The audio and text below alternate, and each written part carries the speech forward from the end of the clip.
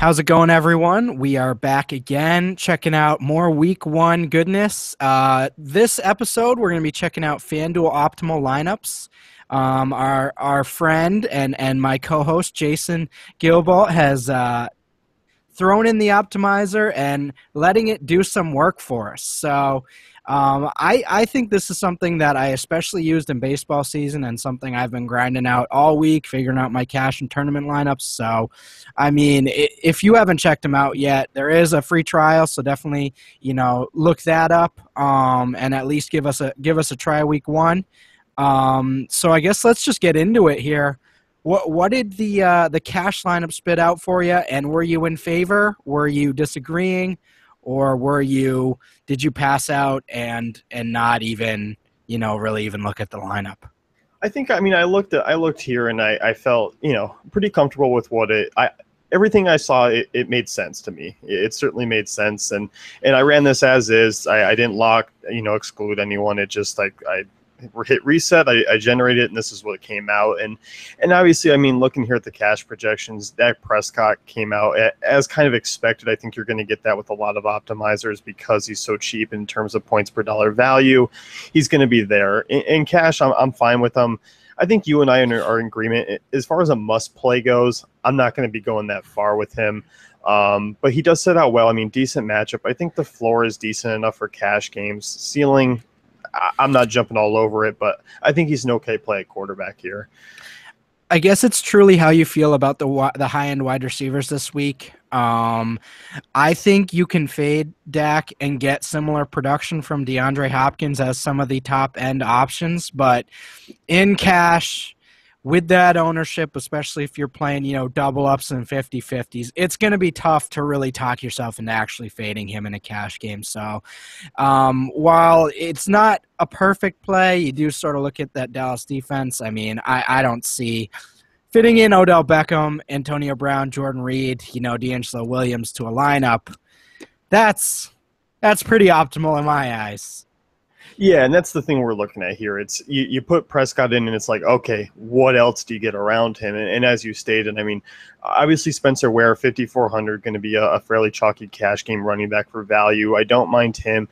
I, like the running back pairing here in terms of value. Spencer Ware, DeAngelo Williams both plus matchups for me. Um, I think the prices really match up well.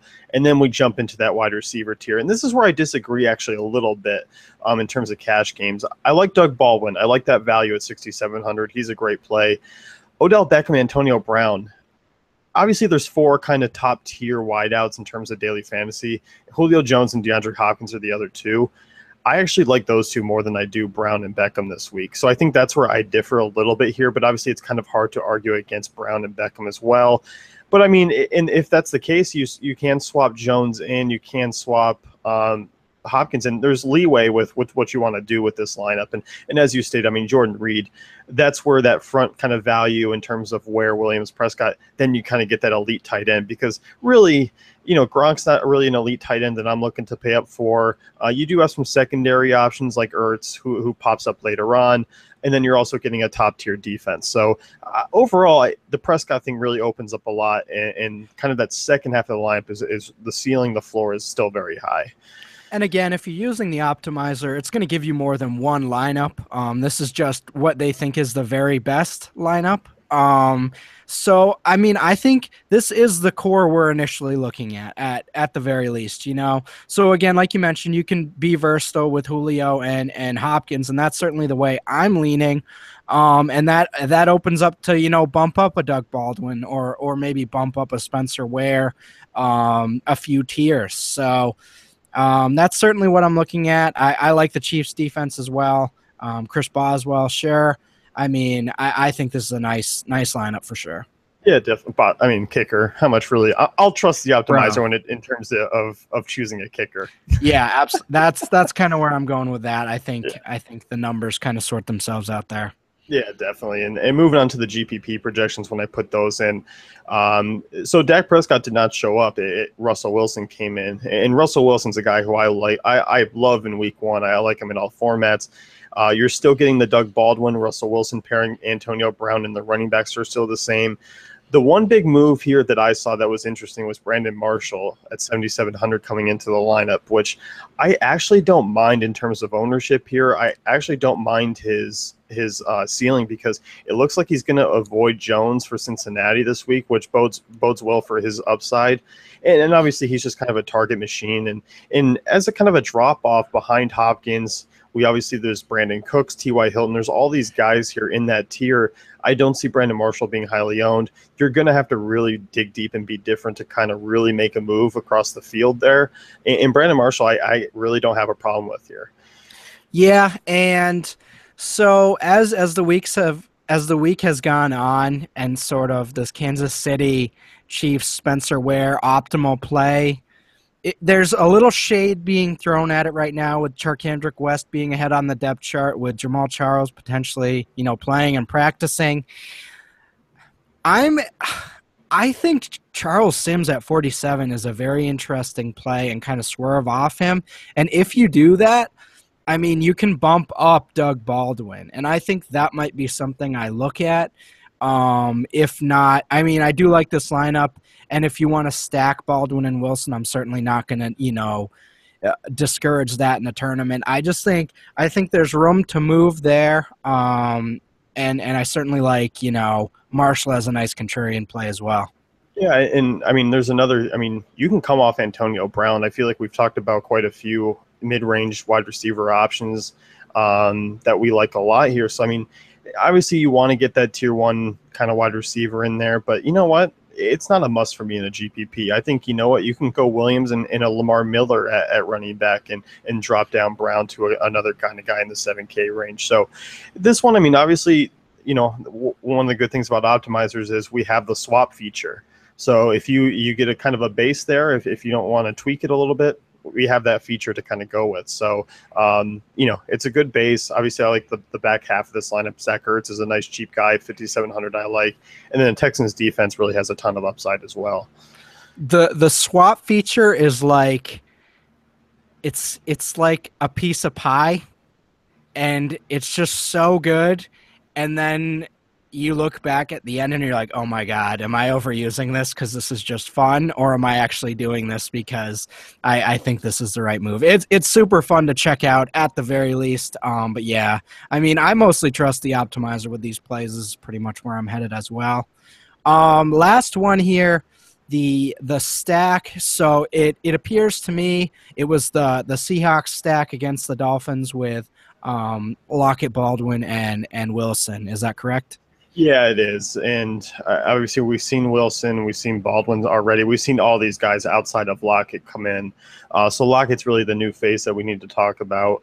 In, terms of the Seattle receiving corps, it's not the most trustworthy in terms of where the production is going to come from on a week-to-week basis, um, and I think that's what kind of makes it super contrarian in a GPP because you know if you do get that Tyler Lockett hit, you do get that Jermaine Kearse hit you know, it, it, certainly pays off in terms of ownership. And I don't think Wilson or Baldwin are going to be that high. I mean, Baldwin might carry a little bit of ownership because he is a decent price.